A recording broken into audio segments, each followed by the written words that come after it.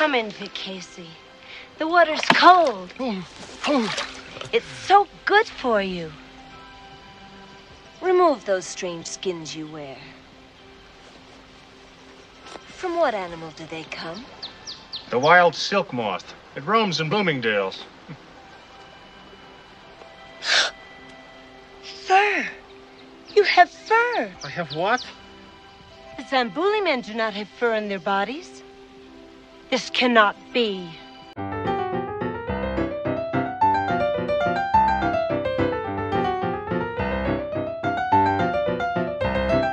Hello and welcome to Comic Book Movie Oblivion, the podcast about feature films based on comic books and comic strips that people have stopped talking about. We're your hosts, Jordan and Kumar. That's me. And me. And this week we're talking about Sheena from 1984, based on Sheena, Queen of the Jungle. Pause the podcast. I always forget about this. Oh, you go. What do you think? And no, uh, there's no surprises. No, this is No utterly cliched. Uh, Um, there are absolutely no surprises. I no, no. So yeah, don't pause the podcast. Don't watch this film. but we'll get Uh, to that. Yeah. Okay, so Sheena was created in 1938 by Will Eisner and Jerry Iger. Right, and like a lot of comics from this time, it's dubious as to who exactly. Came Uh, yeah, there's some arguments about who named it, who came up with the idea, blah blah It's blah. like Batman all over again. yeah, uh, no, it's not. No. It's not quite Batman. You. It's not one get- guy trying to steal I knew you wouldn't let me get away with that. people. No, it's just um, these these Eisner told different stories about his career over Yeah. the years, and Iger did too. Um, I'm not sure. It was a very long time ago. This is like early mid 30s that they founded this studio. Oh yeah. How would we know Will Eisner? Will Eisner's most famous for The Spirit, so we will be coming back to him at some stage. Yeah. And Iger, what would we know him from? I don't. I don't know if he was Sheena. famous. Sheena, yeah, that's about it. uh, but what they did was in thirty in the mid thirties they were creating comics to sell to publishers.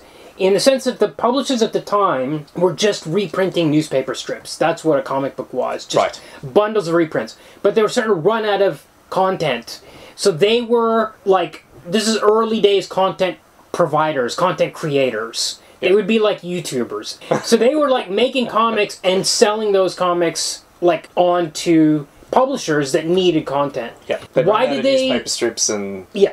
They need something to put in their comic Yeah. books. So they they just they produced tons of material. So, they this had a is like studio a strip full of that was artists. never in a newspaper almost. That's right. Mm. And they would uh, they would make up pseudonyms, so it seemed like they had a much bigger studio than they actually did. Like they had fifteen guys working for them instead of five or whatever. Um, so there was this, they produced this, there was this comic called Wags. I think it was a British or Australian thing, and they were running out of content before the U.S. I guess, so they produced started producing pages of this comic Sheena under the name W. Morgan Thomas.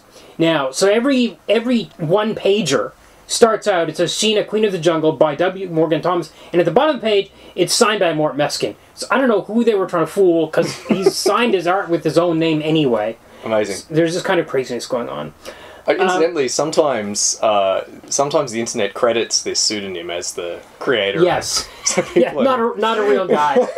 also, I mean, another thing about how little we know about Eis- Eisner and Iger is that if you Google them now, of course, you get all these YouTube hits about heads of Disney. Because there was Eisner in the 80s and there's Iger now or something, so it's like this coincidence. Oh. These two guys with the same names Of course, right. come up. Uh, so there was, according to Will Eisner, he based Sheena, the name on She, the H. Rider Haggard novel. I would say probably not just the name. I think Right, that this sure. comic has some very clear literary antecedents, Yeah. which I suppose I can talk a bit more about once we mention what it's about. Yes. So I'm- I'll also men- mention uh, the one on Wikipedia mentions is Rima the Jungle Girl Uh, from Green Mansions. by William Henry Hudson. So you can also already see H. Rider Haggard, William Henry Hudson, W. Morgan Thomas. They were even trying to come up with a name that sounded like one of those Edgar guys. Burroughs, Tarzan of Yes. the Apes. Yeah. Yeah. Yeah. So it's a, a, thr- three. right. Yeah. Uh, although Rima was. uh, Tripartite name. yes. So Rima was earlier, 1904, and Yes. Tarzan was 1912? Yes, and um, uh, she's uh, 1887. Yes. So we sort of have a, a kind of 30 year spread Yeah. which you could argue was contributing. I, I don't know too much about Rima, but certainly Tarzan and she are both, the, Yeah. I would say, the very clear kind of like inspirations for this comic. So we had these um, Mort Meskin pages, which were just like they were like in one-page chapters. I guess they were trying to make it look like a Sunday strip or something. I'm not sure what the logic was behind. I'm, uh, I, maybe the language of comics hadn't really I gotten to the point it's like you said before, stories. like they're just providing strips without a paper. Yes, exactly. um, then in 1941, Sheena got her own title. Hmm. Sheena, Queen of the Jungle. Supposedly the first female type superhero. It seems like it because Title- you to have her own she title? precedes Wonder Woman by a, a matter of months, Yeah, right?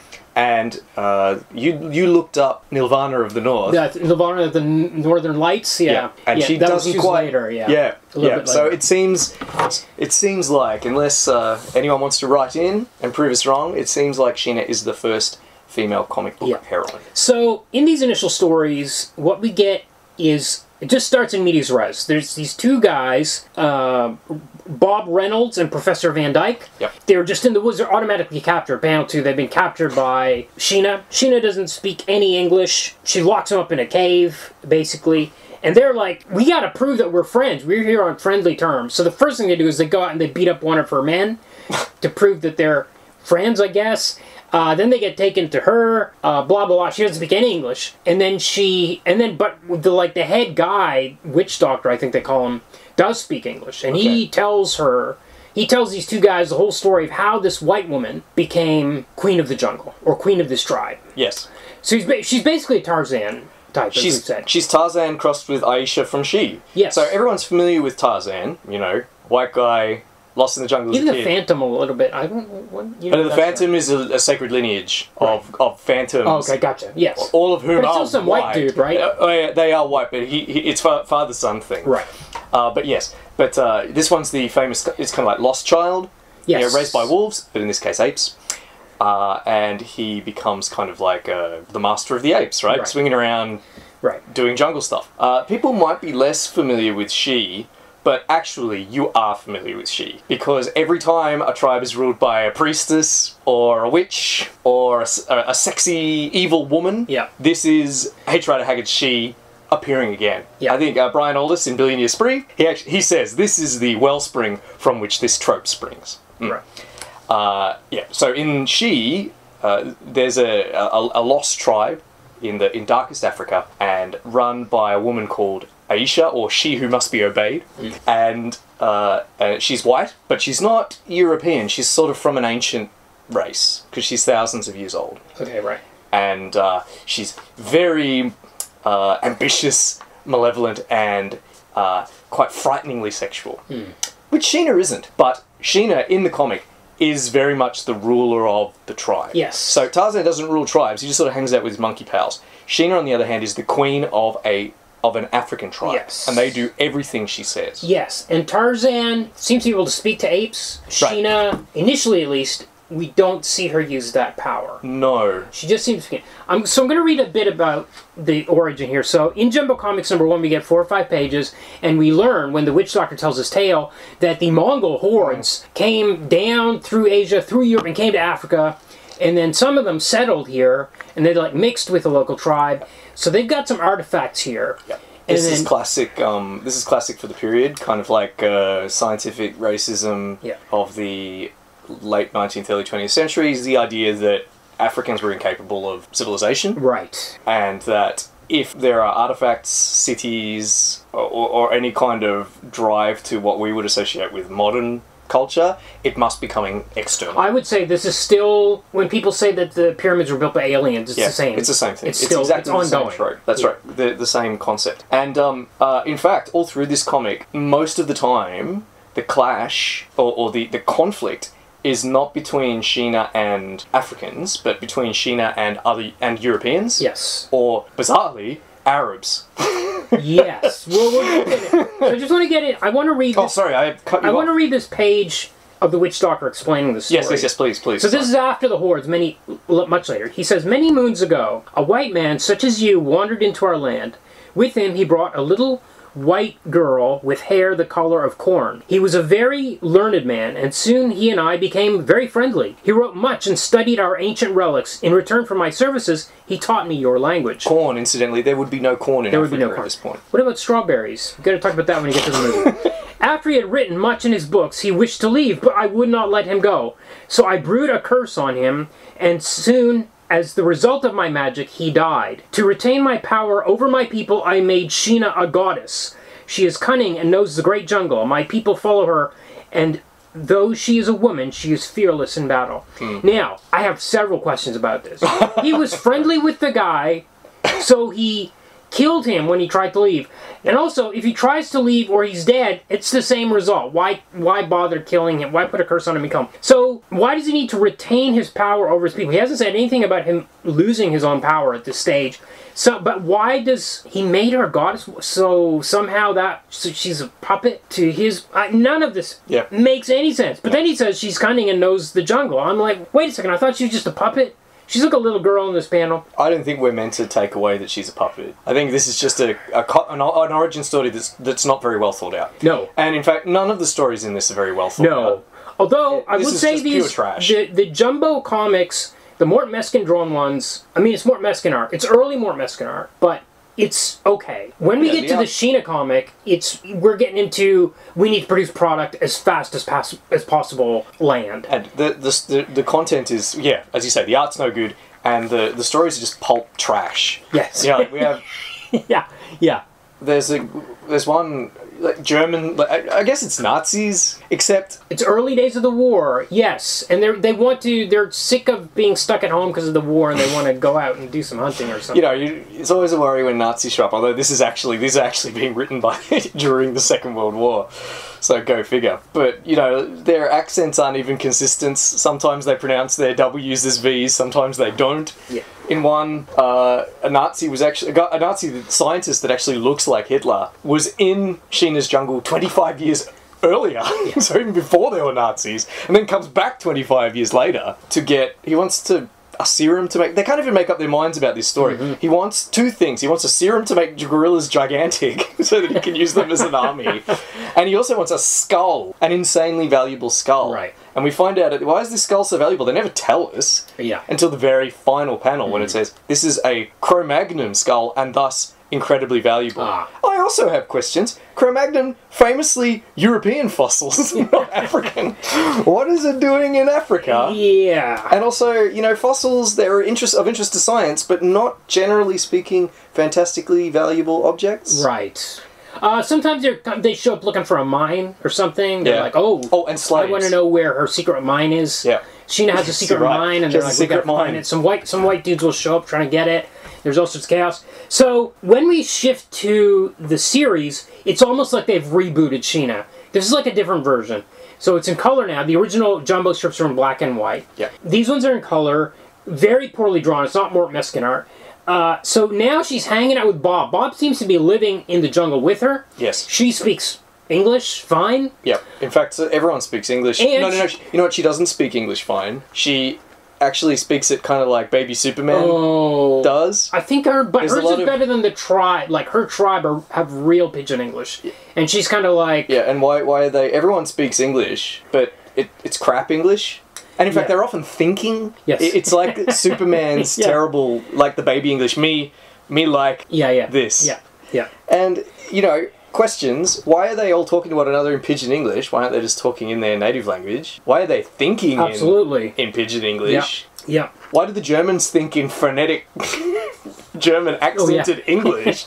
Yeah. This is just, it, it's trash. So she has a, uh, a there's a, a monkey she calls Chim. Yep. Short for chimpanzee, I guess. If you thought the figure drawing of the humans was bad, Chim is drawn really badly. Strange, like like his arms are like like three times the length of his body. Sometimes stuff Yep. like that. So another thing that tends to happen in the in her own series, the color stories, is Bob will get captured and tied up. Yes. Chim will untie him, often at the command of Sheena. Yep. And then Sheena will come in and you know rescue Bob, which is fine. They've- one in one story, solved how to get your heroes out of bonds. in one story he gets captured and he's he's strung up like they're gonna almost like they're gonna cook him, like in Return of the Jedi, and Hmm. um, he then for some reason Sheena shows up with one of her tribe at this village where he's been captured, Yeah. and they decide to set the place on fire, even though Bob is there, and Yeah. and they're like, wait, I'm like, wait a second, he's in there, and you're setting the place on fire.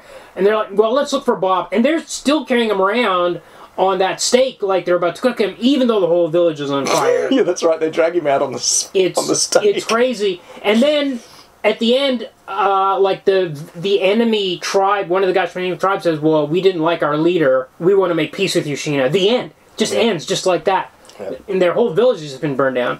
Quite often, another thing that happens is some enemy tribe will show up, and Sheena will say, "Oh, that's that tribe we beat in war last year. They want revenge." This happens more than once, um, where this tribe wants revenge, and they're really. I mean, if you were writing this now, you'd be thinking about, well, why were you warring on them last year, and what did this victory really entail, and why do these guys want revenge? It's just this is just the savage Africa. They're just constantly warring on one another. They're just And constantly. in fact, more often I think than than this kind of like intertribal conflict occurring is, as I said earlier, there will usually be a, a nefarious European Yeah. behind this intertribal conflict. So, or if, if not a nefarious European, then a, a Sheena equivalent. So Hmm. another femme fatale. Well, unlike Sheena, this will be a femme fatale. yeah. So lounging on pillows, wants Bob as a sex slave. uh, you know, wearing a bikini instead of a wholesome leopard skin loin dress like uh, Sheena wears. Uh, or so I mean, so usually the evil characters are the Europeans, but that's not a subversion. That's not saying look at the dangers of empire because usually because when Sheena will capture these guys, she'll give them to the colonial police, Right. Who are unambiguously presented as goodies. Yeah. It's more to do with the fact that the the uh, native characters have no agency. Right.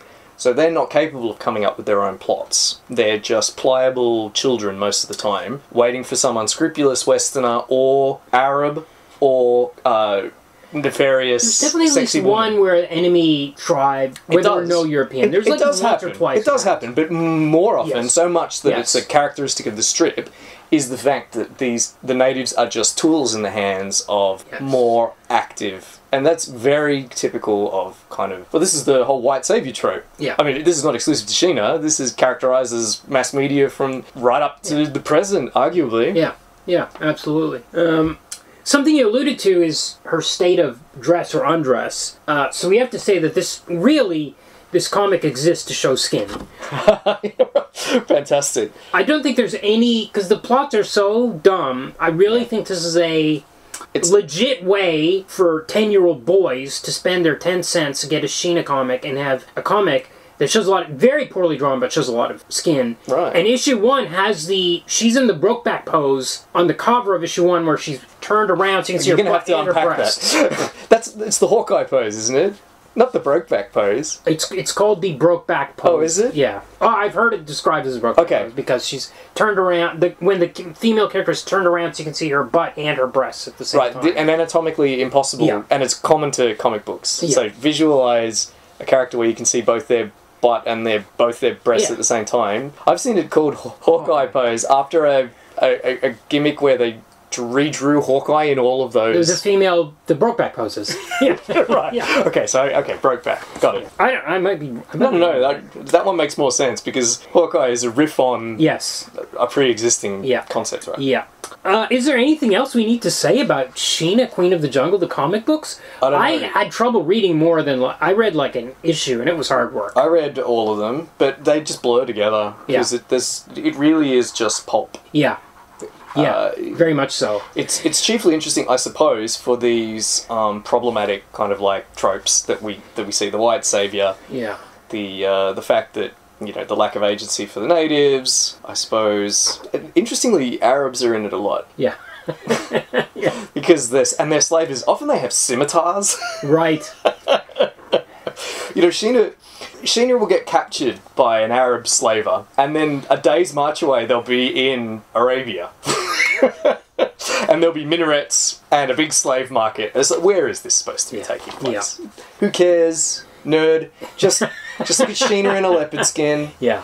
Uh, and I guess annoyingly, having said that, irritatingly, the stories will be interspersed with educational pages. Yes. Yeah. where it'll talk about you know like the elephant. These are long issues. They're like 60 pages. These comics are like. It's not like your modern 22 page comic. It's like a sixty-page story though. I mean, there's No, no, no. There's four like five or six stories, and there, And as you said, a bunch of. And then you, there, you will have like some facts about and some pictures of elephants. Yeah. And some facts about the African elephant. Yeah. But also just straight up nonsense like leopard warriors and stuff. Yeah. Yeah. they just made that shit Yeah. up. There's no leopard warriors. Yeah.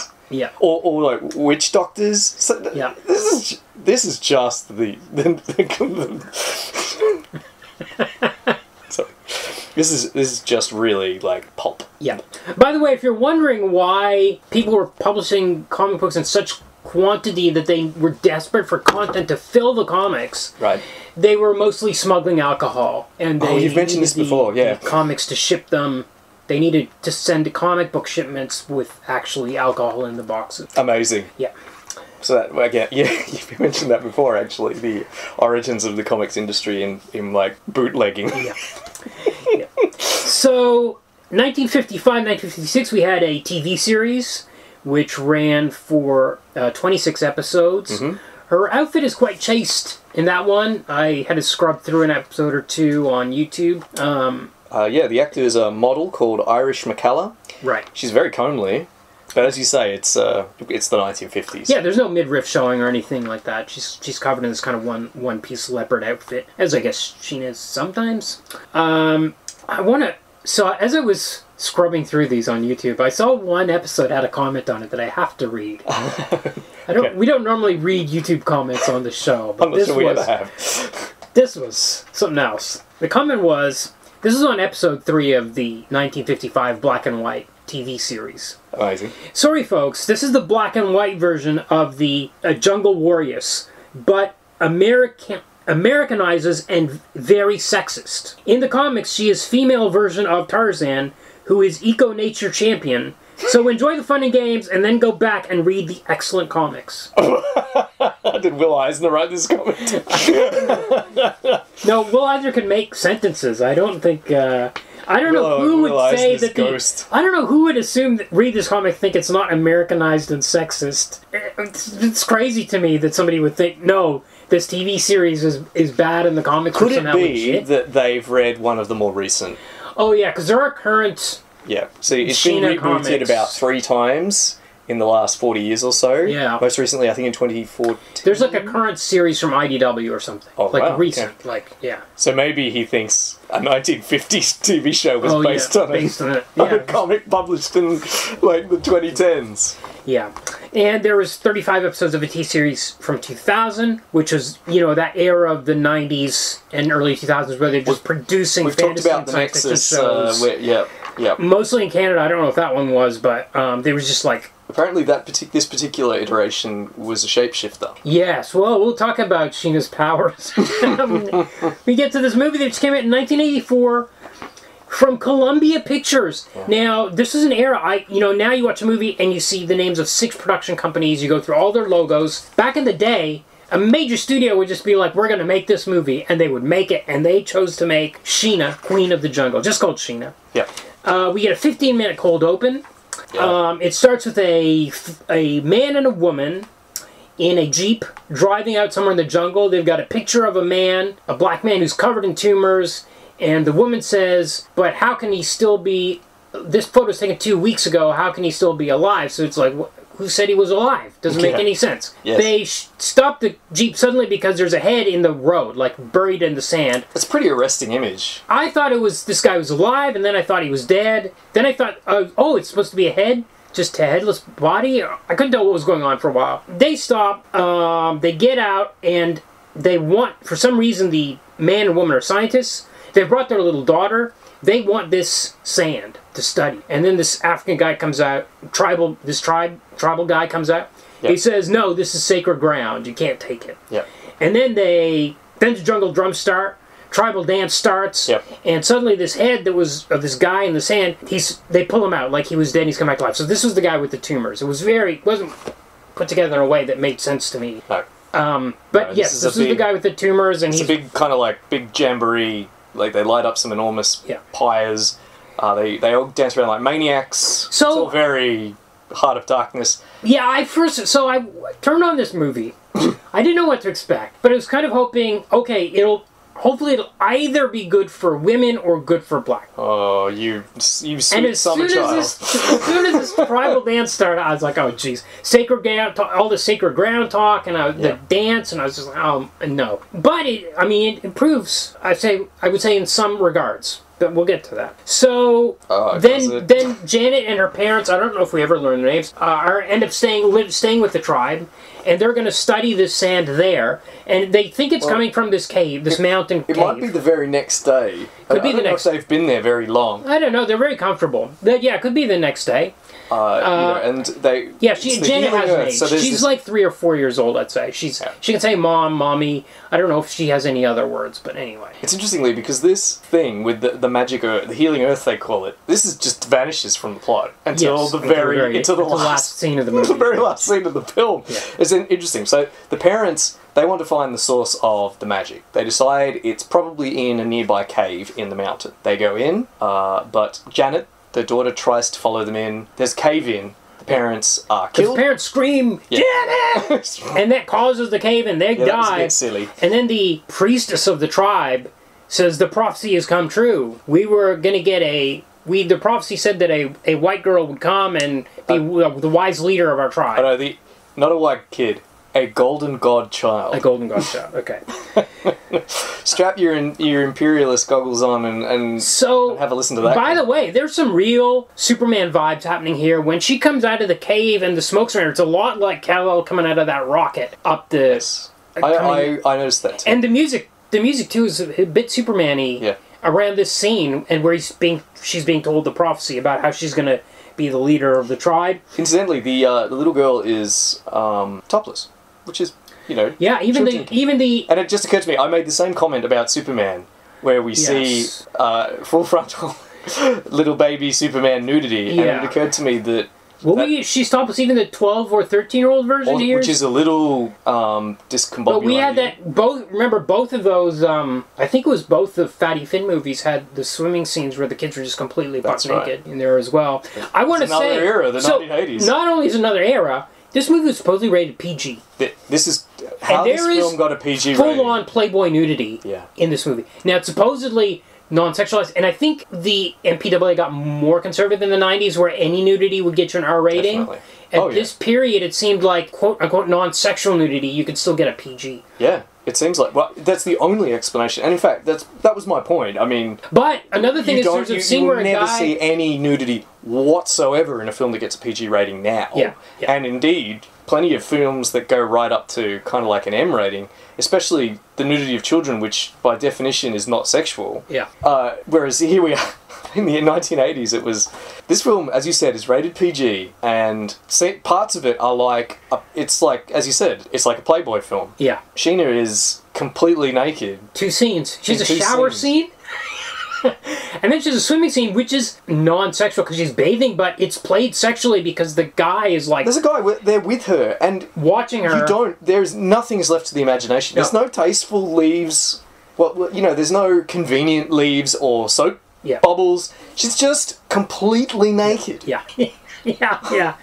Yeah. It's, I just couldn't believe. So- and this is rated PG. Yeah, yeah. Another well, uh, there's another scene where a guy gets stabbed in the throat with a spear, and you see it, That's and that would get an R rating because it's a like a a graphic murder. I don't like to correct you. We do cut away. We see the spear at his throat. It cuts away to the guy Oh. holding the spear, But you- and he pushes it forward. Yes, but then and then we we, see the cut spear- back, and it's embedded in his throat. So we don't see what I might call penetration. Okay.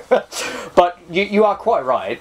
This is we're obviously an era like coming out of the seventies or something where we're much faster and looser with what guess, counts yeah. as a as a film that's suitable for children. Yeah. So Janet grows up in the tribe. The uh, the priestess, the shaman, as they call her, is some kind of. She was played by some kind of princess. She's played by a, a genuine princess from I'm not sure what country she's from, but she's called Princess Elizabeth. of Toro. Elizabeth of Toro. Yeah. So she grows up with the tribe. There's a hilarious scene where she's like wrapped up with a by this python, like just hanging out. Yep. the animal work on this film is uh, Lots of great pretty animals in much the uh, pretty much the best thing about it, aside from Sheena's nudity. Uh, I would say some of the cinematography, which we'll talk about. oh yeah, So she learns all these things, including that they have the power to summon animals.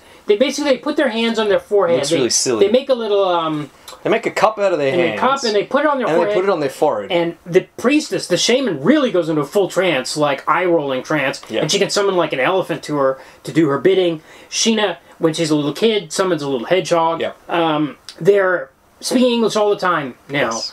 Uh, the priestess spoke English. Sheena speaks English with an American accent. I don't know where she learned it from since she's living with this tribe. she landed in the Bronx apparently. Um, so finally, 50 minutes in, we get Tanya Roberts, who at this stage in her career would have been 25, 26 years old. Uh, the year after this, she was in View to a Kill, which is probably the worst Bond film, but my favorite, because I saw it at the cinema when I was a kid. And I always remember her from that movie. Now, now we get the credits. Oh, by the way, the credits are over her. She's riding a zebra, and it's just her from the waist up. So it looks like she's she's barebacking. Pardon the expression. This zebra. Oh, I believe it's um, a technical term. It is the tech. It is the original term, but it's like really, she is bouncing, She's bouncing. barely in Bounce, and also bounce. It's you like should mention her costume, uh, which is even even more risque. Is risque the word? It's barely It's there. revealing. Yeah, there's Eh, yeah. Revealing, of course, is the word. It's even more revealing than the original comic one. Yeah. Certainly more re- revealing than the 1950s iteration. Yeah. It, it's two scraps of leather, essentially. yeah, And she's barely in it, as you say. Like, we're watching her. it is kind of mesmerizing. yeah. She, yeah. She's on horseback and just Look at her, bouncing long shot. along. She's riding along a shoreline, and the water's filled with flamingos. Yeah. Amazing. I, Yeah. uh, totally amazing. But it's so hilariously like. Here's what this French director Jean Guillermin is like. This is a horny French director. It's like here we This go. is a very horny This is your shot. So Guillermin had. So now we get the credits. So let's talk a little bit of the credits. John Guillermin had directed two Tarzans in '59 and '62, and he directed the uh, Dino De Laurentiis King Kong in '76. Yes, that's right. Yeah. The movie was one of the four writers listed is David Newman, Yes. who wrote Superman. Yes, that's correct. So we've I've got some. I've got data on that when you're ready for it. Okay. One of the other writers I want to mention is Lorenzo Semple Jr., who wrote Flash Gordon and Batman 66. And get that fucking bell ready because he wrote a draft of Dune for De Laurentiis. Amazing. Yeah, and he wrote King Kong. So we got the same writer and director from that terrible King Kong movie. Was it a hit? I don't know. I only know it was bad. I've never seen it. I watched these credits twice. Okay. I watched the end credits. I didn't see any mention of the comic Interesting. anywhere. Okay, end credits. Now we cut to surprisingly big city. This is shot in Kenya. I don't know what city this is in, but we learned there's this guy, uh, Prince Otwani. He's a American football player. It seems like um, comes in very modern, and I actually when he drives up to this ministry. Yep. And he comes out, he's just dressed in ordinary clothes, and people address him as a prince. Yeah. And I was like, oh, okay, this is actually. Maybe we're not going to have the tribal dancing stuff. Maybe we've got something progressive going I on. I could I have a com- I had a completely different take. To me, he's not just wearing normal clothes. He drives up in like a Corvette. Yeah. A red Corvette. He jumps out. He's wearing a red bomber jacket and jeans. Uh, to my Orientalist kind of like primed uh, point of view, I saw this as aggressively Western.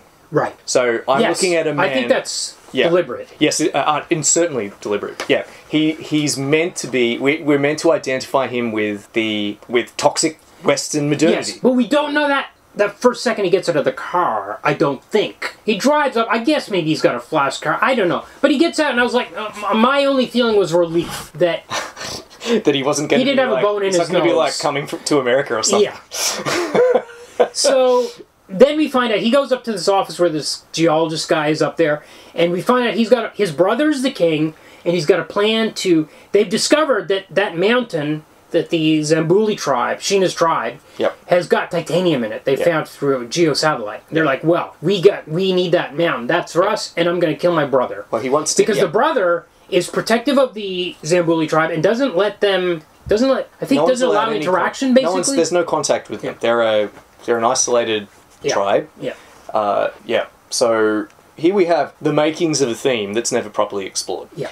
So it's yeah, it's never explored properly. But the idea is that the Za- the the Zambuli are thriving because they're kept separate from the outside world. Yes.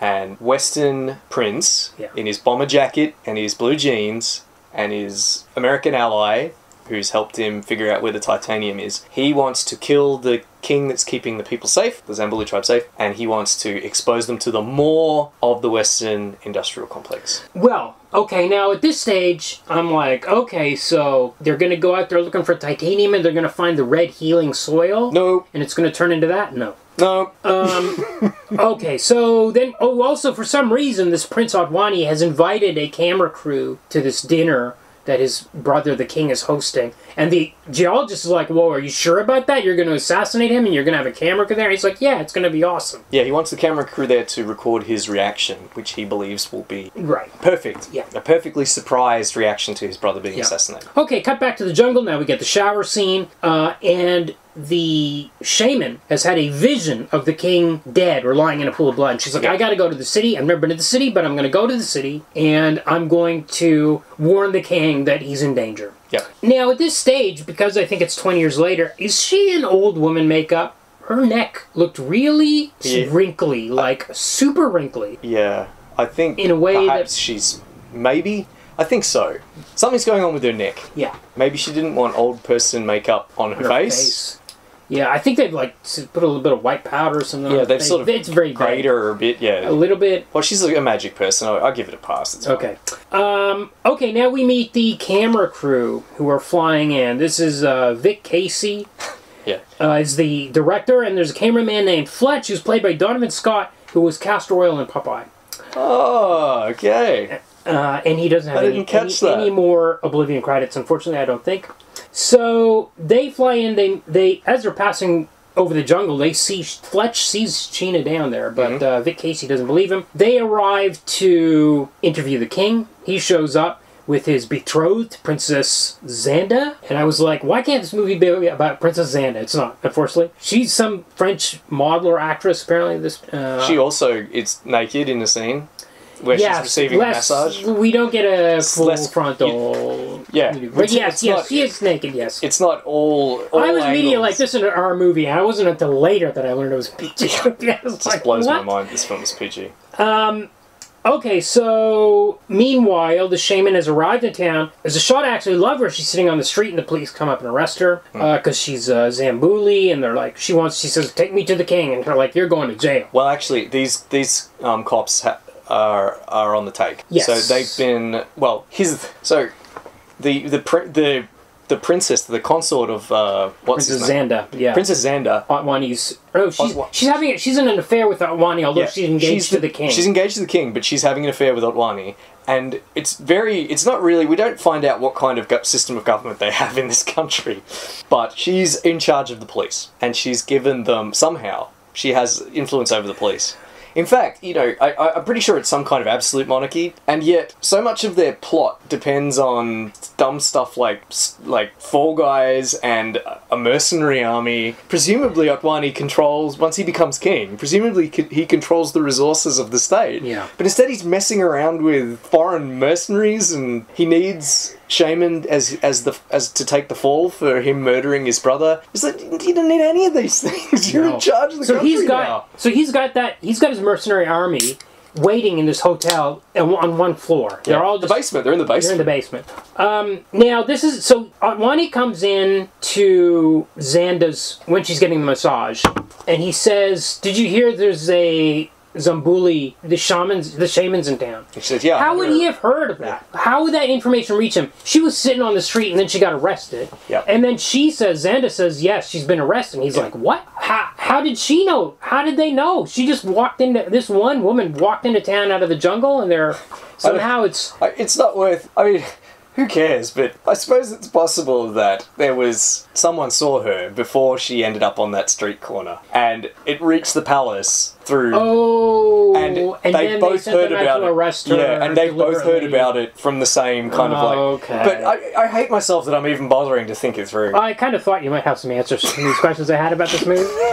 So basically, they have this big dinner party.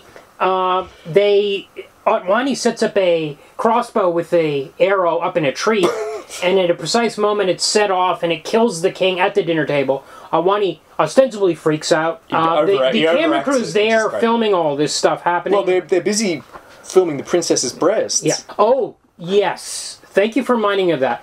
they notice the princess's décolletage, and they're like, he's like, he says boobs to the left. Make sure you film those boobs. That's the words he used. Use the boobs, tits. You know what I mean? He says. Yeah. And the cameraman turns. He's like, whoa. We get a close up. This is very. This movie is so male gazy. So at this point, I'd lost yeah. out on Oh yeah. that one thing that I was maybe hoping for. I don't know if he went through the Wikipedia comments from the studio head about this movie, where he said he's hoping to make a movie that is for a six his six year old daughter would have a superhero, Yeah. and that he could take fa- families could go to together. Yeah. Uh, what? Yeah. You know, what did he say? I've got a I've got a quote which I also pulled off the Wikipedia page, which incidentally is a really messy Wikipedia page. but uh, which said the comic book concept was hopelessly outdated. This is one of the producers, Aratow, the guy that chopped it around in the 70s. It involved the killing of endangered species and also had racist overtones. Uh-huh. We decided to create our own interpretation of Sheena Queen of the Jungle. She is a modern contemporary woman. She is much more cognizant of ecology. She is much less violent. She's like shooting guys with arrows at the end of the Yeah. movie. Sheena is an 80s film, so Sheena is an 80s woman living in the jungle. Okay. That was not the studio head I was thinking of. That No. was some producer. But anyway, so yeah, so they film her breasts, and anyway, the king gets killed. Uh, This plan, and they, incidentally, uh, so much could go wrong. Th- This this jo- this crossbow is not being fired by a person. It's automated. yeah, So it's pointing at the seat where he's going to be, yeah, yeah. and it's time to go off when he stands up and makes a speech. So many things could go Yeah. wrong. Yeah. So Someone- they put a they put a Zambuli arrow in there because now that the Zambuli shaman is in town. Yeah, they can. And they're like, well, we can frame her, and they immediately they pull her in. They're like, they, they we found this bow. It's the same That's props the rest Zambuli arrow. She's Zan, Princess Zanda's the one that pulls the she pulls the arrow out of his chest at the table. This is a crime scene. Leave, don't touch the victim or pull the weapon out. So she pulls it out. She says, "This is a Zambuli arrow." They bring in the shaman. She does not protest her innocence. They just take her away. As far as I remember, they take her to jail. In jail, she does the cup to forehead move Yep. and she sends a, a beam, a psychic message to Sheena, who is eating a strawberry. She's lounging on the grass, eating a strawberry. It looks like a Playboy shoot. It's so funny. And she suddenly gets a psychic signal, and okay, she gets up. She summons her uh, zebra. Now, can zebras be ridden like horses? Well, no, but it's Is, not. so is this a horse that's been painted, or is it just it's a? absolutely a horse that's been painted. okay, that's what I guessed. Yeah. But I mean, it looks like a horse that's been painted. Right. well, it also neighs and whinnies, which I don't know that zebras No, they make don't. horse they sort noises of- like that. They don't. They make a different sound. They're sort of like whooping. Okay. Well, this horse, this zebra neighs. Yeah. No, Um, it's it's a it's a it's very definitely a painted horse. yeah. So, meanwhile, the, the video footage taken by the f- film crew, they discover there's proof on there that it was a crossbow that killed the king, not the Zambuli woman with a bow. And they're like, aha, this is proof that there's. They also accidentally stumbled across the mercenary army in the basement. They did, yeah. Just by chance. yes. In in a, in a quite a funny little scene actually. And it's quite well shot, you know, the, the it's the classic kind of like gag where the elevator opens on something unexpected, and in this case it's a bunch of guys cleaning weapons, Yeah. very rough looking customers. And one of them starts walking towards them menacingly holding Yeah. a machine gun. And uh, one of them, Fletch, I think, says, Sorry, wrong floor. Yeah. Mashes the guy's door button. Yeah. And then they think no more about it. Yeah. So they want to the film crew or uh, uh, Vic and Fletch. Vic wants to interview the Zambuli shaman Yeah. at jail. So they go to the jail, but at the same time, Sheena shows up riding her zebra, Yep. along with an elephant and a monkey, a little two monkeys maybe, Yeah. at least one monkey. Yeah. Elephant crashes through the wall of the jail. It's pretty cool. They go in there. The monkey picks up the keys. The monkey knows what keys are. This monkey's never been to a city before. Picks up the keys and throws them to Sheena. Knows that Sheena knows the key, needs those keys. Keena, Sheena knows that she needs the keys to open the jail cell. Although she's later on, she doesn't know what binoculars are in this movie. No, But but she's she like, knows- I know what keys are, and I know I need them to open the cell, and so does the monkey. yeah. So she opens the cell. She rescues uh, the shaman, and they escape back into the woods. Yeah. Now, the bad guys, Otwani, uh, he wants, he obviously this woman can give him away. Uh, the, The shaman. shaman. Well, can they're she? like- I don't think she can. not really, but he's kind of worried about it. and I don't know. Here's another thing. Why is he worried about it? He has no reason to be worried about it. He goes, "She can give me away. She can, you know, she. No one. is- What, what are you talking about? She was. What she'll say? I didn't do it. Yeah, yeah. I don't know. Anyway, it's a reason for He them, has him no to take his to give a army shit. Into the jungle. Vic and Fletch go into the, uh, the jungle, I guess, just to chase the story of this white woman that's Yeah. that's riding a zebra. They're like, what's going on here? And to chase up the whole story about the assassination. They go into the jungle. Um, now, this is I laughed so hard so many times in this movie, Yeah. n- unintentionally. Yeah. But there's a scene where they they stop their jeep and Sheena swings down onto the jeep. So she's in a she's standing on the hood of the jeep. Yeah. So we can only see her legs. She starts gunning down. So now we get the crotch shot, and then she gets lower, and then we get the boobs shot. Yeah. And it takes a long time before we get to actually see her face and her acting in this scene. Earlier, So I was like, "It's oh, it's kind of okay. She's okay." I mean, she was uh, she did a year on Charlie's Angels. Mm-hmm. I'm like, she's doing okay on the early. This scene, I was like, whoa, like she is on another planet. I guess you know she grew up in the jungle. Maybe that's an excuse. But her pose, she's striking this pose where she's got this crotch out pose. that's hilarious. The whole and the camera's just like right there on her. Yeah. Now, I will say her abs are amazing. Sometimes when she flexes her abs, it's like holy moly, and her thighs are like thunder thighs. Are like powerful. She's in amazing shape. She's in amazing shape, but she is struggling to deliver some of these lines in a way. I mean, how would a jungle person react to this stuff? It's but anyway. So she, You forgot to mention that at this in this scene there are three lions. Also. yes, so they, yes, they, they, the lions attack the jeep first, etc., and she kind of jump swings up in on the Jeep. on the like, jeep. Also, cubs. I don't know if lions and lionesses hunt with their cubs as a family well, these all are together. these are under the control of Sheena. It's okay. So, oh, she didn't rescue them from the lion. She sent the lion. I'm pretty sure that's what happened. Yeah. But then she paints a magic barrier, a circle in the sand which keeps animals out, including mosquitoes, according to Fletch. Yeah. So why would she do that? I don't know why she's doing that. It doesn't make sense. I don't get it. Um, But it is pretty. It's pretty impressive the way these these animals are very well trained. Uh, and they just like once a, a, a lion with a great big a male lion with a great big mane sticks his head in through the side of the Yeah. of the car through the car window. Yeah. This is right up against Fletch, right up against the actor. yeah. There's one on the roof. There's one on the hood. Like but these are big cats. Yeah, the animal work in this movie is really good. I hope I they were treated well. I I have uh, I have so much information relevant to this topic, which I can't wait to tell you Okay. about. So he, Vic says, I want to record you, and he has a recorder, and she doesn't know what that is. Now, I don't know, she must have been three or four years old. Surely she would have some memory of civilization. I Things like Yeah. cars and, like, she arrived in a Jeep. Doesn't she know what these She things doesn't. She doesn't. She arrived at the jail. She went to town and blew up the jail. She knew where the jail was. It's not consistent. You know, she she's not. They're not riding in the car, and she's not saying what is this. But she doesn't. She doesn't know what gasoline is, like what petrol is, because Yeah, she she says calls the cars water need to that- drink water. the water that the. Wagons. She calls The them wagons wagons. drink, Uh, you're right. It's not consistent.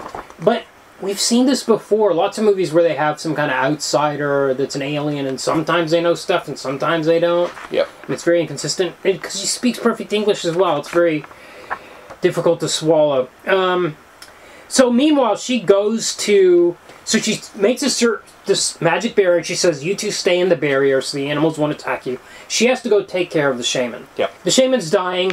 It took me a second to realize in the background an elephant is digging her grave. Yeah. With its trunk. Crazy town.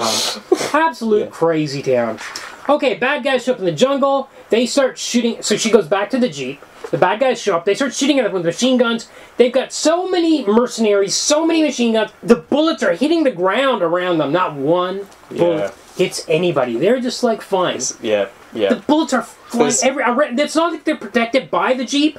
They're on the same side as the bullets. We just have squibs going off everywhere, and they're just not having any effect. No one gets shot in this film. Well, none of them. Yeah, they're just missing all the time. Yeah. Like hundreds of Yeah. rounds going off, and no one's ever getting hit. yeah, and they're right there. The Yeah. are at They're about feet. five. They're not hiding behind a wall or No, something. that's right.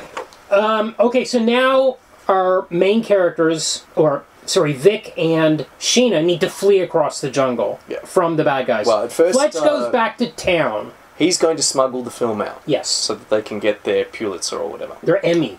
That's what they want. They don't want a Pulitzer. They want Emmy. It's really a high priority. It's, a high motivating factor in several scenes in this movie. Like, what about the Emmy? Let's get that Emmy. I just blanked on that. I just substituted Pulitzer because why would you get an Emmy for journalism? Uh, TV news. There must be a TV news Emmy of some sort. Why would anyone want that? I don't know. So I don't know. At this point, Vic thinks he's being taken to Shaman to interview her. Yes, he thinks she's still And I don't know why Sheena would tell him that. She, she says, "Well, we have to travel a really long way. Because what, place beyond to something. the afterlife." And wh- where is she taking him exactly? When was she planning on telling him that Yeah. she was dead? It doesn't. It's just a way to get our two main characters together. I don't know. So now we have very long. There's a chase. The bad guys are attacking. There's a tree climbing scene, uh, which is there for butt shots. A, lot of butt shots on this tree climbing. the Anytime she camera- goes up or down a tree. The camera spends about half of this film up Sheena's loincloth. yeah. Uh, but there is a surprise. when uh, when Vic is wearing a sarong at the end of the movie and it's breezy, you get a shot. You get a shot of uh, what's going on under his sarong there, and I was a bit surprised that the Why not? You know, that like we've seen everything there is to see of Sheena. Yeah. Why not see a bit of Vic? Incidentally, Vic, um, he's very much regular guy physique, and he spends. I guess there's a different standard for what a leading in what kind of shape a leading man could be in in this time. It's not like now where they will shove. We've talked about this before a little bit. I think when with Gwendoline, uh, it's not like now where the where you get the leading man will get shoved into fat camp for six weeks before shooting even starts, and Yeah. will come out a muscle bound monster. But she's supposed to like outpace him and outrun him and all that stuff. And this tree climbing scene, she's very athletic in it. Like she, Oh yeah. when he's attacked by a snake in the tree, she swings down oh, upside down. To Oh, but we would- he's and she pulls him up by her foot. Yeah, it's amazing. But he's he's clearly meant to be sexy man, right? I think he's meant to be film- a handsome man. A film would yeah, handsome man, handsome man. Uh, even now, they would get him into Hollywood shape, Yeah. and then just tell us that he can't keep up with the. Yeah. But we Yes, just, we you're would right. just accept that all men look like this with their shirt off, whereas this bloke looks more like a normal person Yes. with his shirt Yes. off. And it's so funny now being, I guess, acclimatized to what Hollywood now thinks is normal human being with you know like bulging everywhere. This guy, he's con- his shirt's constantly open. And I'm like, do up your shirt. Yeah. He lost some buttons or no one wants to see that. Yeah. She talks about how furry he is as well. None of the men in the tribe are furry. She says, You are Yeah. covered in fur. She I mean she said that when she was completely stark naked. Yes. Yeah, I guess she shaves her legs out there in the jungle. She shaves everything. Yeah. Um, they go out. There's a. So here's where we get some amazing cinematography. Um, there's a scene where they're crossing the desert and the camera's just backing up. I said, that camera's going to stop. No. They keep going and going and going. You get the huge, huge shot of the desert and them crossing it at a vast, amazing There are distance. some great. There's a great shot where they find where he kisses her by the lake, Hmm. and all the flamingos are on there, and the camera pans across the flamingos. It's I like was like, something out of out of Africa. I And- cannot believe. I could not believe this yeah. movie did not deserve this level of cinematography. Isn't the, there's a shot later on where, where with a helicopter. There's a lot of shots with a helicopter, and the helicopter shots are really good. yes, Someone really knows how to shoot this helicopter to make it look dynamic as it flying around as it's flying around. And there's a scene where the helicopter lands in front of Sheena and Vic, and it's it's all one take. Yeah, You know, think about how it would be shot now with about 50 different edits. the uh, DP was Pasqualino De Santis, He won an Oscar. won an Oscar for Zeffirelli's Romeo and Juliet. That's right. Yeah. That's right. I, I picked up on that too. Yeah. And boy, What's he he, doing? he, he couldn't even suck properly No. like everyone else in this movie. no, yeah, That shot of the helicopter landing, Yeah. it's just one take. yeah.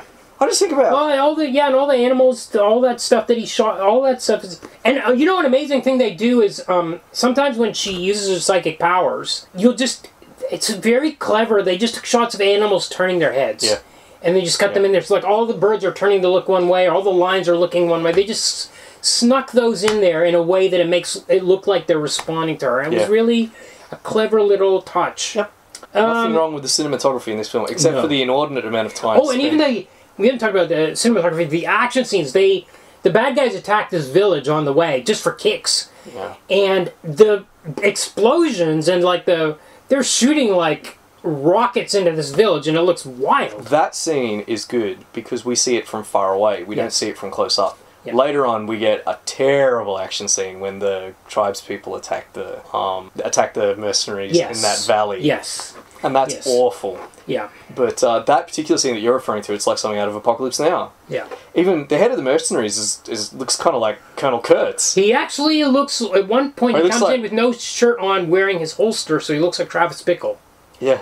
Or he, and he also he kind of reminds me a little bit of Rutger Hauer in Blade Runner as well. Yes, I think we were supposed to assume cap. he is he South African based on his accent. Maybe I'm not sure. He seems very blonde. You're He's right. just- He's a Rutger Hauer looking Yeah, guy. he's just uh, a terrifying, blonde, foreign, like unscrupulous mercenary guy. Yeah, yeah. Um, so this is the so as they're crossing the desert, we get the bit about the binoculars where she doesn't know what. Now you are tiny. Yeah, well, she looks now you have end. You're become a, you're giant. you're a pygmy. You're a giant. No, she's looked at reflections and lakes and stuff. She has some concept of what these things are. And, Like- and she grew up she, in Western society until she was like four. Well, This is madness. And yet the chimpanzee knows how to use keys and knows that they're necessary to open a jail cell. yep, yep. This is the kind of uh, this is the pettifogging, nitpicking that I'm here for. Yep. So she is. They're captured. They have to surrender. In the scene where the helicopter lands, which you mentioned, Hmm. she is taken away by Princess Zanda. Princess Zanda does is jealous of her of course. because Wani is like, well, I'm. He's constantly. He's very um, chauvinist, Yeah. patriarchy, patriarchal kind of guy. He's like, I'm the man. If I want to have sex with this white tribal priestess, I'm going to do it. Oh, he's like, oh, I'm not going to. I'm not really going to. But he keeps talking about it, like, oh, when I have you alone. So I, the Princess Zanda's like, uh, uh She's got some I'm gonna female throw her. jealousy going on. I'm going to So throw her off a, a waterfall or something. Well, she's going to she's going to take her up in the helicopter. She's going to she buzzes the tribespeople, and then she says she's going to throw Sheena out of the helicopter, and she's going to fall into the waterfall, and that's going to impress the tribespeople. But it's really because she's jealous of it. Yeah. Incidentally, the mission at some point has shifted from catching Sheena to securing the mountain. Again, why Well- do they need to secure this mountain? They is- wanted that titanium. I but this mountain Originally- is in your the borders of the country you are now the king of. yes. You don't need to secure it from anything. Yeah. You can mine it at your leisure. Yeah. Maybe he's a constitutional monarch. Okay. We'll, we'll, we'll get of this. And that's why he has to do all this So- on the down low because he's not. There's a prime minister who's actually in charge of the army, perhaps. Right. So while they're in the heli, while In that case, why does he need to assassinate his brother? yeah, Sheena and Zanda are up in the helicopter. She's about to be thrown off, but Sheena pretends she has a headache so she can touch her forehead and summon the swans, and the swans all swoop in. flamingos, flamingos. Flamingos. Uh, terrible special effects. Yeah, awful. Uh, some of it looks like it's animated. Uh, the, several shots, obviously, the helicopters are moving, and there's like puppet uh, flamingos' heads. Yeah, someone's bashing in there. holding a flamingo head and is just jabbing it on Yeah. on, on camera. And sometimes it looks like there's like drawings of like flamingos flying past. Anyway, it's really, really bad, pretty bad. And uh, Zanda falls out to her death. By the way, beautiful shot of the waterfall. yeah. Beautiful. There's some good, sh- uh, and of all of the uh, the tribespeople running around. Yeah.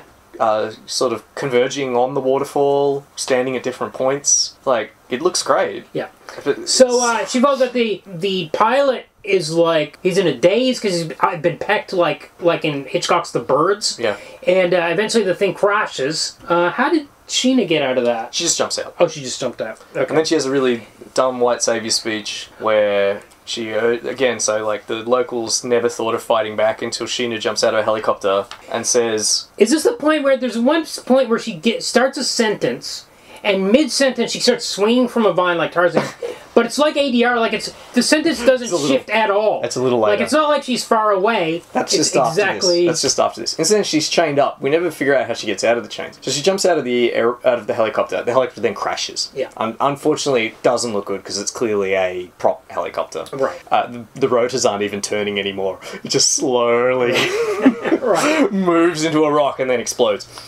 Uh, then Sheena holds up her chained arms and says, "Look, even in chains, I, I defy them. And you know, Z- Zambuli warriors, remember your warlike heritage. Remember thousands of moons ago when you were the greatest warriors of the age." They keep mentioning some woman who the one she who was the something. This person is some goddess type is mentioned a few times, and I thought it was going to come back. Oh, oh I, d- I didn't. I don't remember that at all. No worries. And then somehow she gets the chains off, and then, as you say, there's a scene later on where there's some badly ADR. She starts a sentence, and then, then she's, She's swinging through the trees. She's swinging away, still delivering. but we line still hear the line as though she were right in the front middle. Of, she never stopped saying the sentence. Yeah, funny. So Vic, meanwhile, has revealed he's been captured by Otwani. He reveals to Otwani that has proof, footage. He says, "I'll cut you a deal. I'll give you the footage if you Sign declare to the. UN Yep. that the Zambuli are independent." Yeah. I'm like, wait a second. What? What is any of this? Why does he do you care need to about go to the the, UN? Why does he care about the Zambuli? He's never met them. He- yeah, I don't even know if he knows what they're called. Um, so his thing is, he's why is he giving this murderer, this assassin, his freedom Yeah. to rule his country with an iron fist? Yeah. Presumably for this deal, this why does this have to go before the UN? What does the UN have to do with any of it? It's this is why this is part of the government thing. I was like, well, how is this government structured that hmm. we need to get independence for this tribe So- from the UN? Because we- why are, are they not independent already? What does that mean? What does independence mean? Yeah, exactly. Does that mean, yeah, do they get a seat on the UN? no, well, it's because we're supposed to care about the Zambuli, and so Yes. he cares about the Zambuli. But he's never, as I said, he's never met them. He's never met one. All he, he knows Sheena, and that's it. Yeah. But, you know, he wants a, he wants that Emmy. That's what he wants. Yes. So, well, but now he wants independence for a tribe of people he's never met and has no conception of? And he's willing to trade evidence of a murder for it? That No. seems crazy. No. So anyway, he's they put him in a jeep to take him back to the city to get the tape. Yep. But Otwani says, well, he doesn't come back. It's a one way trip for him. He says that in earshot of Vic. Yes. Vic's right In there. he's so, right well, there. what- what- okay, well, I guess we're just staying here then. Yeah.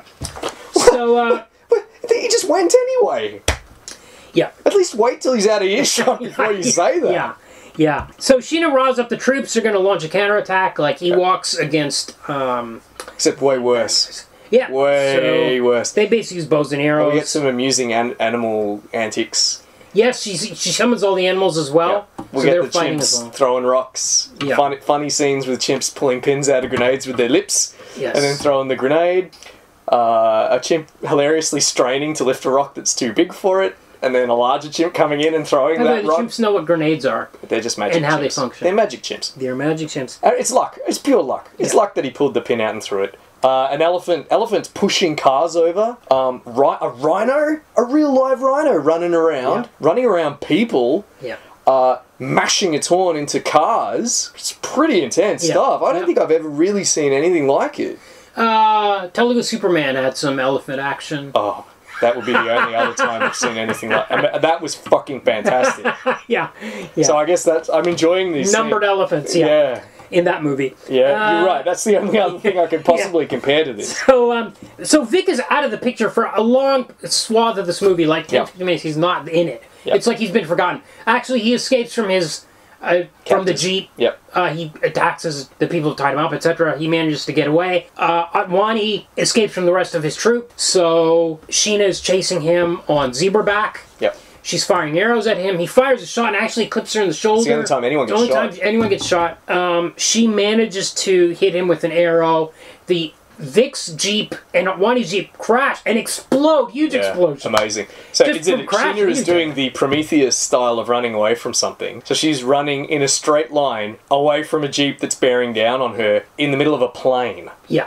Yeah. She could just go left or right. Yeah. Yeah, but she doesn't. No. And uh, meanwhile, you know, Otwani's out of the picture because he's taken an arrow to the chest. So he, and then Vic comes in and saves her, as you say, by running the jeep into the side. And as you said, there's a, a colossal explosion. Vic is thrown from the jeep on fire, Yes. Yes. and you know he's rolling around trying to put the fire out. Yeah. Sheena runs up to him. He's badly burned. He's crispy. yeah. He delivers some terrible maudlin dialogue. Again, that I don't know that I'll get a PG rating. Yeah, his, his, his arm is just completely blackened, and he talks about dying from his burns. Did uh, Revenge of the Sith get a PG thirteen? No idea. Hmm. Okay. Probably. Um. Yeah, I think it did actually. And of course, Anakin gets barbecued at the end of that. Well, there you go. So Uh, really meanwhile, bad. Sheena and Vic have fallen in love. Incidentally, it's probably worth mentioning. Yes, I, yes. no reason He kissed again. her twice. She's like, "What is this kissing?" She's not an Teach alien. me to love She is human. In a Kirk. tribe with Yeah. people who mate and Yeah. have relationships and children. yeah, well, here's the thing. You know, there's no reason for her and Vic to fall in love, except No. for the script demands it. So In fact, the second time he kisses her, she gave a line which I thought was a good line. She says, enemy. "You're an enemy." He says, "What?" He says, "She says an enemy is one who takes without asking." and it was a line that Shaman had delivered to her earlier in the film too. Yeah. She goes to the city to confront an enemy. What? What's an enemy? An enemy is one who takes without asking, and the prince is going to take without asking by killing the king. But it doesn't go anywhere No, of course she's. It's not like the because reason. she's she's she's being taught to love. Yeah. So um, they use the uh, magic soil to resurrect Vic as This, this that- is the only other time the magic soil is mentioned. just like the film. first scene. He's buried up to his neck in the sand, and they do the dance, and they pull him out. He comes back to life. Um, he's nude in that scene, by the way. You get to Yep. see his butt for a moment before a guy Before a guy runs up wraps him up. and wraps him in a sarong. Yeah. Uh, and then the next day, we see. So he had told her that he was going to take her back to the city and show her the modern world. Yeah. And But at the end of the movie, he's like, you know, I can't do that because they'll come here and they'll they'll ruin all of this to get that Again, soil. this is the stillborn theme of the film. yeah. Which But he's not- got some of that soil in a cup, which he's going to take, which they weren't allowed to do. Her parents were not allowed to do at the start of the movie. Yeah, that's right. But I guess he's pinched it without permission. Doesn't, she, doesn't she doesn't know it's sacred ground. I don't know. She doesn't care. Yeah, why is it okay for him to take it and not for the parents at the start? But he's like, look, he's like, this could cure cancer. that's what the script says. I'm going to take it, but I'm not going to take you because they will Tear you poke and prod you, etc. And uh, you stay here. They're not gonna. They only care about. They don't care about the psychic animal summoning. They only care about soil. Anyway, He just wants the soil. he flies away. She sheds a tear um, as she sees his plane fly away. Yep, and she- then we get a repeat of final credits. We get the zebra riding past the flamingos. Yep. This time it's a full shot. It so it doesn't look It's like not just it's her not as bouncing sexual. breasts the whole Yeah, time. Yeah. Right. Um, Yeah, and uh, that's that's kind of it. that's it. Yeah. Oh, and he's listening to a recording of her saying "I love you" over and over. Yeah, because he, re- he recorded her voice. But yeah, again, th- this ending doesn't make any sense. Uh, he wanted. I I suppose he's supposed to have given up on the idea of winning that Emmy. Yeah, yeah. And now he's dedicated himself to nobler goals, namely A, curing cancer with magic dirt, and B, protecting the Zambuli tribe Yeah. because Sheena and the tribe need to be separated from modern the modern world in order to live happily and If I can vaguely play devil's advocate, he did see that village getting destroyed. Yeah. So he does sort of know that they're vulnerable, maybe. Yes. Yeah, I, I agree. It's there. It's all there, but Yeah. it's not given enough No. emphasis. It's stillborn. Yeah. Hmm. Well, I think it's time for everyone's favourite segment Cishet Male Solve Sexism. Okay, so if it's not clear just yet, this is a really sexist movie, and it, it's kind of annoying because the comic is a mess, right? Yeah. We've discussed it's a racist, poorly written, poorly drawn heap of trash, but one thing that is interesting about it, I won't say redeeming, but I will say interesting, is that Sheena is very much a kind of strong female character. She's the one that saves Bob. She never needs saving. Yeah. She's the one that does the saving. Yeah. None of the kind of typical. She's never a damsel in distress. She's never. She never has to be rescued. If she's tied up, the monkey rescues her, as we mentioned. Jim rescues her, not uh, Bob. She's like tough, a tough kind of superhero. It's. I, you could. I don't know if you could call it a redeeming feature, but it is pretty interesting for the period Yeah. Yeah. and she's unambiguously the goody too. Yeah. But and I mean she she does ultimately she's reinforcing the status quo because she as I said she just delivers she doesn't inflict her own kind of justice on people. You know she doesn't throw anyone down a pit or chuck rocks on them or whatever. She delivers them up to the colonial police. So she's part of the I guess the imperialist kind of like state of affairs Right. in Africa. But that's this is a minor point. And this. I, this kind of makes the sexism of the movie even more galling, Mm. arguably, because you have the only good thing about the comics is that it's Well, you wouldn't call it feminist, but she's she's not a sexist cliche. She's not like the Haggard's character and She, like a malicious, conniving, ambitious, out of turn woman. But here, you know, okay, first of all, she's naked all the time. Okay, it's Yes. this is the, the male gaze is constant in this yeah. film Yeah. when she's not naked, she's wearing this loincloth. She never wears anything else. And as we pointed out ad nauseum, the camera, Lingers. l- yes, lingers. Uh, half the film, I feel like we're looking up her skirt. Yeah.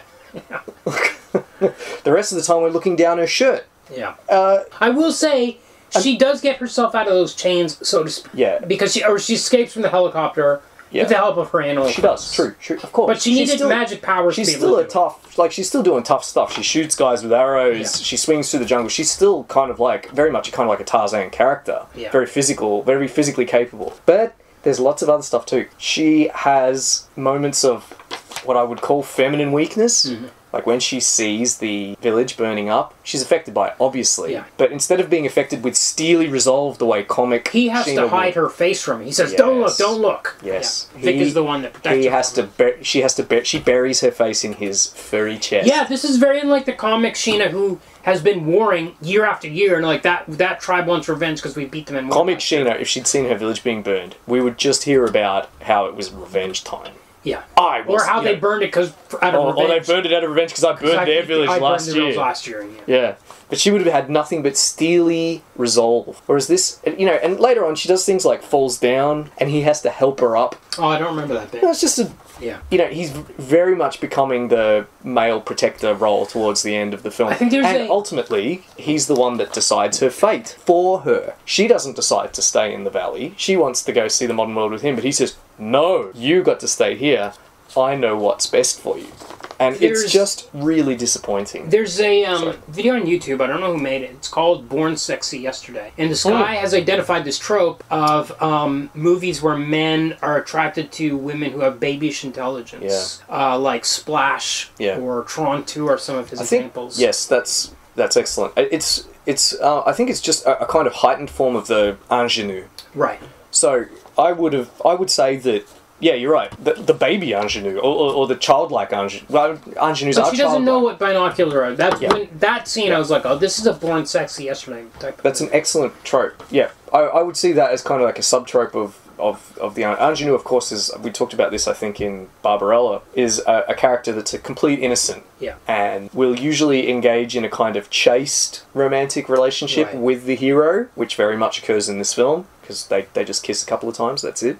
They maybe spend the night together. He tells her to put out the "Do Not Disturb" sign. Oh yeah, final yeah. At the end of the movie, yeah. Yeah. But it's a very kind of pure and harmless relationship. yeah, yeah. Whereas usually the the danger or the kind of like the tension in the plot will come from the efforts of the villains to drag the innocent girl into the sordid realities of the modern world. Yeah. And I once again I think that's very much occurring here. Uh, and this is this is a kind of characterization of women that doesn't really get a lot of mileage these days because it's because it's infantilizing. So it's disappointing to see, especially since it's nothing like the sole good thing about comics Yeah. which is that she's real tough Yeah. in comics. Mm. Yeah.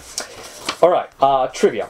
So this film had a budget of twenty-five million dollars, and it made five point eight million dollars. Wow. So very much a flop. Yeah. Uh, You can see kind of see the money on screen though. I oh think. yeah, especially with the animals. Animals, the cinematography, the explosions. Yes. Oh yeah, this is a this is a feature film. This Yeah. is a big. This is a proper studio movie. Yeah, Yeah. yeah. Uh, so uh, the producer that I mentioned earlier, Paul Aratow, who I quoted about bringing Sheena into the eighties, uh, he bought the rights to the film in 1974. Just decided that he just figured it, he just wanted to make a Sheena film. There was precedent because that there's that TV series. Right. So he shopped it around for a few years with a few different studios. I I think he originally wanted Raquel Welch to play Sheena. Uh, Bo Derek was another potential Sheena, Right. whose name was mentioned a bit. And as you mentioned, eventually Columbia Studios picked it up in uh, 1980. Uh, in line with his desire to bring it up to date, uh, he he got uh, script writers. So as you mentioned, the final credit goes to David Newman, who wrote Superman, but the first script was by Leslie Stevens, uh, who I think is maybe famous in our circles for directing Incubus, which is the Esperanto film starring William Shatner. Whoa. okay. Wow, that is a fun fact. His original script was apparently very fantastical, with a Chariots of the Gods kind of thing. Whoa, So okay. like, where I guess the Zambu- Zambuli were going to be aliens or something, Right. or have alien tech. That was, you know, like the the execs at Columbia didn't like that. It was too fantastical, and that's they brought in David Newman at that point to give us kind of what eventually became the final script. Stu- a, a bunch of other people doctored it, as you pointed out, but essentially Newman uh, gets the credit. Uh, as far as casting is concerned, Tanya Roberts really wanted this role. She lobbied hard for it, and she trained for ten months. Wow. Uh, getting into the amazing shape, yeah. incredible shape. Huge biceps too in some shots. Uh, she she took up weightlifting right. to, uh, and bareback horse riding, but she didn't read any of the comic books. Sure. I don't think anybody did. it's just Lady Tarzan. It's really that's that's all the concept needs to be. You can Yes. just address it with whatever. You're you're completely There's right. nothing in the comics beyond that even.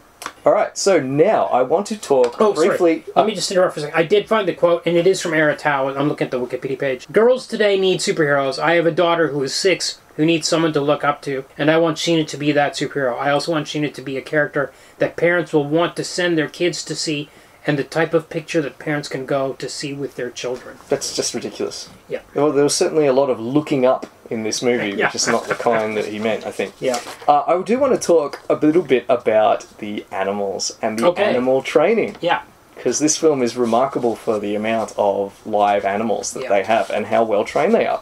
The animal trainer was a guy called H.G. Wells, or Hubert Wells, Okay. or Hubert G. Wells as he was better known. Uh, uh, an animal trainer who worked in Hollywood for 45 years, had a storied career. Uh, that included the original 1967 Doctor Dolittle. He also did Out of Africa. He did Babe Pig in the City, Okay. an Australian film famous for all the animals. Great movie. Yeah. Uh, Indiana Jones and the Last Crusade. Okay. Uh, do you remember that scene on the train where uh, Indy has to is, Yeah. is- uses the bullwhip on the lion? Yeah. He falls into a carriage with a lion in it. The opening opening sequence, right? Yes, the opening Young sequence Indy, with yeah. uh, River Phoenix. Yeah. Dracula Oh, with the wolf. with the wolf, and he was in front of the camera for that. He played a zookeeper, Whoa. Okay. but he also had lows. He did Mac and Me Oh my God. and uh, Beastmaster Three: The Eye of Braxus. Oh, wasn't Tanya Robertson a she, wa- Beastmaster she was in Beastmaster One. Gotcha. In the end, he did 150 films and 200 TV shows. Okay. I read his memoirs as preparation for this Wow. episode. Okay. It's called uh, Lights, Camera, Lions. Huh. And of all the films that he talks about doing, he has the most praise for this one. Interesting. It was his favourite, not because it was good, but because of all the amazing Yeah. work he got to do on it, and for the fact that for once, money was apparently no object. Yeah. Right. Uh, he says in his memoirs, he led a remarkable life, incidentally. Amazing. Born in Hungary during before World War II, participated in the kind of like the Hungarian uprising against the Soviet Union. Whoa. Okay. Refugee in Austria, went to America, took up animal training, worked all over the world. Fascinating bloke, and his memoirs are actually really funny. Hmm. Uh, they're, they're they're quite funny. I can recommend them. Like Okay. for example, you know, the, he he when he talks about the kind of like the animal training company that he worked for going bankrupt, and that chapter in the book is chapter eleven. Right. It's the eleventh chapter of the book where he Uh-huh. talks about the studio going bankrupt. It's full of just funny little details like that. Anyway, talk a little bit about. So he says, for me and my crew, this yarn about a female Tarzan was sheer fun. It was the pinnacle of our professional life. Hmm. So apparently, he reckons that he holds the record for most animals shipped into Africa. yeah. Right. Because of course, all his trained animals were in the US. Yeah. Right. So they didn't use all that. That elephant, the rhino, the lions. They're all from America. Yeah. He had to fly them over. Yeah. So it says here from the US, we shipped to Kenya an elephant, a rhino, four lions, three leopards, four chimpanzees, three white Arabian horses, which would be painted with stripes, and 12 flamingos. Two combination passenger and cargo planes were needed to ferry all of this menagerie. My rhino, Big H, named after me, was a day late though because Queen Elizabeth used the same airline and my rhino was bumped off her flight for safety reasons. Uh, he uh, was probably in the film, as I imagine, having paused it and watching it, I think he was probably the extra that gets the lion attacked by a lion during the big Oh, battle. okay. Yeah. Remember, there's one jumps on a guy. I'm pretty sure that's him. Okay. Having seen a few photos of him. Uh, God, there's just I've got so many notes from his. he said that Princess Elizabeth and Tanya did not get on. Ah. Uh, they first of all wouldn't speak to one another, but eventually started screaming at one another. Apparently, Whoa. Uh, and in a scene where Sheena has to touch her, uh, she quote simply and adamantly refused to be pawed by a commoner. At which point Tanya swore at her, and she replied, "You go back to the gutter." Tanya walked off, saying, "I refuse to work in the same scene as that bitch." And they finished the scene with uh, the animal trainer's understudy, who happened to be a woman of equivalent height, Whoa. and they put her in the leather outfit and the and a wig. So I couldn't see it in the film, but apparently there's a scene where the animal trainer is a stand-in for the shaman. Huh. I do want to tell a little story about the rhino. So Okay. you remember there's that great scene where the rhino comes into shot, where they're in the uh, jeep, Yeah. and the rhino appears. Yeah. Right, and then it turns around and leaves. So he says, uh, a, a guiding trail is constructed from logs and boulders. For reasons known only to himself, Big H actually stopped at the magic line for the shot, but that is as far as, as the miracle lasted. When he turned around, my lion, that was the male lion that was on the roof, Kybor could not resist this monumental wrinkled ass. He leapt off his perch and attached himself to the rhino's posterior. The other lions scatter like sparks from a Christmas sparkler. Big H nonchalantly kicked the lion off and headed for the fence made out of 16 inch timber, which he promptly crashed through, Oh my god. ran off into the jungle. Again and again in these memoirs, it talks about animals running off and Yeah, him having to yeah, chase them. yeah. Uh, they chased him with four cars, shot him with a half dose of tranquilizer, and then tried to lead him back to camp with a rope around his neck. At this point, his career as a movie actor was finished. Quote. Later that day, he smashed his way out of his crate, which was also the crate he was flown in inside of, and he was supposed to fly out inside of. So he was donated to a national park Huh. in Kenya, where unfortunately, five years later, he was killed by poachers. Uh, uh, Wells finishes this chapter saying, "To hell with the critics. Sheena is my favorite movie." Huh. Interesting. Okay. That's a little spark of joy in there, I think. Yep. Oh, this film won five Razzies. Oh, did it? Yep. Okay. Worst actress, worst director, worst score. So Huh. far, I'm on board. Worst photography, which I don't think is fair at all, because I think it's quite. I don't think the score is bad. The photography is good. I, th- the, yeah, uh, the score I, I thought was very boring, especially the main theme, which I thought was. Well, it's crazy when they use the main theme because it's just like a little doodle piano. Yeah, they're using it in action. They use it in action scenes. They Yeah. use it in the jailbreak. I'm Problematic. like, this is the wrong song to use here. Also, Weird. worst. Very weird. Worst screenplay. Yeah. Again, Yeah. tedious. And that's it. Okay. I guess we should rate this thing. Comic, come on, yay or nay? It's an I mean, there's lots of other better Mort Meskin comics out there if you want to read them. Um, Even Flash Gordon's better than this. Yeah. And, oh well, that was Alex Raymond art. That was Yeah, like art. beautiful, Yeah. beautiful. Um, And somehow there are some. There were like racist. a few panels of. Oh yeah, we haven't done Jungle Jim, which we are we are going to do Alex Raymond's Jungle Jim at some stage because I made 16 of those movies. Um, it's there were a couple of moments where like they it depended on which artist was drawing the comic. But some some of them were good at doing the landscapes a little bit, but the figures were never quite right. This was there's never A grade talent or B grade talent on these books. It was always really down the line. And um, as you said, the stories are bad. No, th- these comics are all Yeah, it's a nay for me as well. Uh, film, yay or nay? Nay, it's bad with some good stuff in it. Animals are good, the photography's good. Yeah, apparently this has become something of a cult film. Okay. Which I kind of guess, especially if you're in a teenager. It's funny. It's If really like there's. It's accidentally funny, unintentionally funny. Yes. A lot of scenes, I was just, I could not believe. Like, And you could rent if you were 15 years old. You could, you could rent it. You could rent it. Yeah. And you probably did. yeah, yeah. But yeah, this is a, a nay for me as well. It's just, it's so, it's just a, a dull, offensive mess. two lot of hours long. Yeah, very long. Here's one. And I have to say, I mean, earlier this month I was thinking, oh, should we choose something specific for Black History Month? And we chose this one by random. Oh, God, week. oh. And I kind of felt like, oh, we've, we've done the wrong thing. feel pretty bad about it at the moment. Um, Uh, but anyway, you know, when people are listening to this 50 years from now, they won't know that we recorded it in February. Or, or we'll be the subject of a of a scathing Yes. uh, woke review, Absolutely. as we have uh, been scathing of the Absolutely. and we'll deserve it. Uh, adaptation, yay or nay? This is a tricky one for me. Um, so, okay, Jungle Tarzan. Is it a Jungle Tarzan? Yes, it is. Now, I always go back to your yay of adaptation for Gwendoline because two people had the same name and there was nothing else in common with the comic and the movie. So, by that criteria, I should say yay, but she doesn't have magic powers in the comic.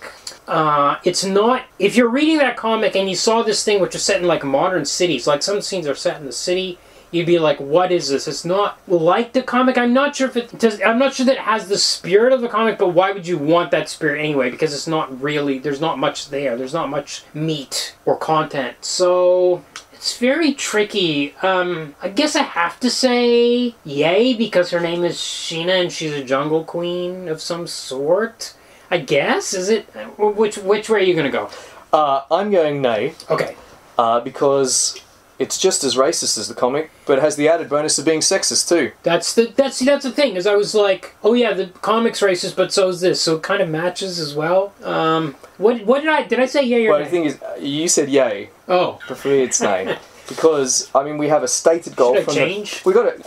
You do you, but I see we have a stated goal from the producer that he wanted to make it Sheena for the '80s, and oh yeah. Well, Sheena's not of the 80s. And it's not that. It's, as I said, it's still offensive and arguably more offensive because we have all the added sexism Yeah. and none of the kind of like dynamism of the character really from the from the 30s. So it's a solid nay for me. Uh, I'm just thinking about switching. Maybe I'll switch next week. I'll, I'll update you next week I've changed my mind. Jolly good. I'm really not sure. It's Tune in next week to it's hear a- to hear Hamlet over here decide how he's going to vote Yeah. on this week's Yeah. adaptation. Yeah. All right. Uh, don't forget to like, Oh, review, rate, subscribe. Uh, check us out on Facebook. It's the only place you'll find us, unless you want to send us a letter in the post. No, you can contact us on Twitter, and also we have an email address in the show notes.